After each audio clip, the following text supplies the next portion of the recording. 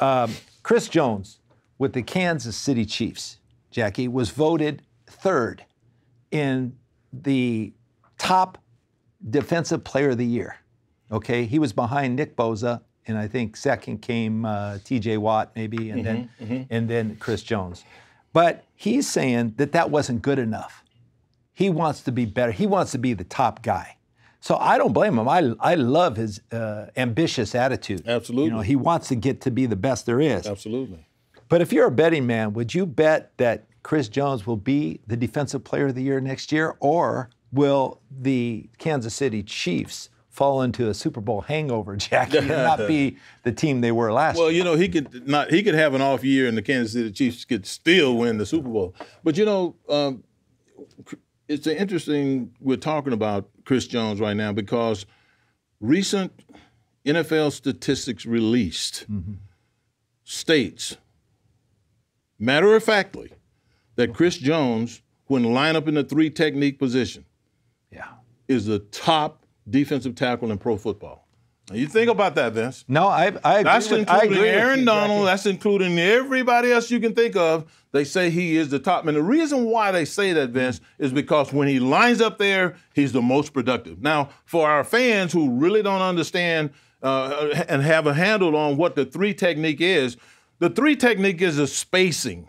And what happens is offensive line coaches categorize spacing based on where you line up on on the on the guy that you're playing against. If you line head up on me, then that's a, a two eye. You know, you Right. looking right at me. Okay. If you get outside of me, that's a three technique. If you get inside of me, that's a one technique. Now, what he is doing is he is being featured, particularly on pass downs, in a three technique, which is out between the offensive guard that has to block him and the offensive tackle that has to block the defensive end. So when you line Chris Jones up in a three technique, he's hard to beat. In fact, statistics say he is the best interior defensive lineman in all of pro football. So when I'm at quarterback and I'm looking to see Chris Jones in a three technique, I'm, I'm a little shaky there. you, you better I go get a little shaky. you better get the ball out of your hand quick. You Because I've seen him in that technique, Jackie, and he's he's dominant. he, he is dominant. He's a force and- because and, you know because you know why, Jackie? I think the offensive guard doesn't have the skill set that an offensive tackle does, especially when you have a guy on your outside shoulder.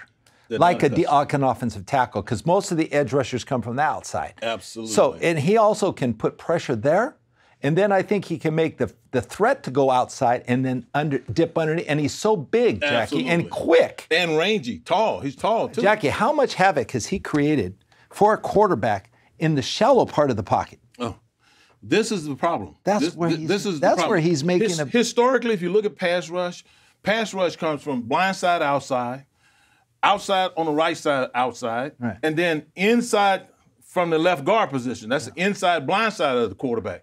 But if you take this guy and you put him in the quarterback's face and he's beating your right guard consistently, he- you got a you got a six foot five, 320 pound man right in your quarterback's face all the time. That's going to make a quarterback blink. I don't care who he is, Vince. Right, and I can step up when an outside rusher is coming up. I can step up into the pocket and get away from that outside rusher. But inside, when you have a big man like that right in your face, You're gonna step up and get hit in the lips there's no- directly in the there's lips. nowhere to go. There's nowhere to go. You know, the, the, the, the interesting thing, and you said that, and this is this is what is so relevant to me, and it just hits hits home with me. You know, the only thing that should be consistent about an offensive lineman's stance is this inconsistency. You have to get in a stance that allows you to do that particular job well. Then, if you figure out how to do one or two or three other things from that same stance, that guy won't ever be able to read you. Right. Offensive guards are responsible for taking care of the heart of the pocket. They got to be firm on the line of scrimmage so that that quarterback can get back and ev- evade those edge rushers and step up into that pocket. But if you are sitting there like a stuck in the mud with that being your mentality, and you're going to be strong and powerful in one spot, and the guy's sitting out there and challenging you up here, you've got a problem. Yeah. So what you got to learn to do is get back there and deal with him with some power, just like you would if he was right in front of you right here. And I don't think a lot of guys really go about teaching that to their players so that they can go in and out of stances to be successful. So it's I a think- mind game. I think the guy at the Rams right now, Ryan Wendell, understands that because I've seen him play guard and I've seen him set on wide three techniques, and he looks like a tackle doing it, even though he's only six foot, six foot two and a half, six foot three inches tall. So it's a matter of what you've been taught.